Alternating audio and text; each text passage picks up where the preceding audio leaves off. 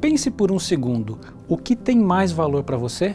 Por exemplo, para algumas pessoas, ainda que de forma inconsciente, é o dinheiro. E isso é um perigo.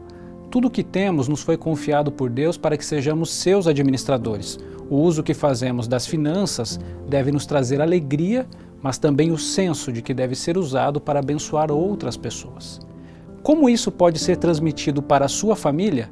Pense em quantas lições seus filhos podem aprender ao depender de Deus e utilizar as finanças desde cedo para ser uma fonte de luz para mais gente. E se pedimos sabedoria a Ele agora? Querido Senhor, tudo o que temos foi nos dado por Ti.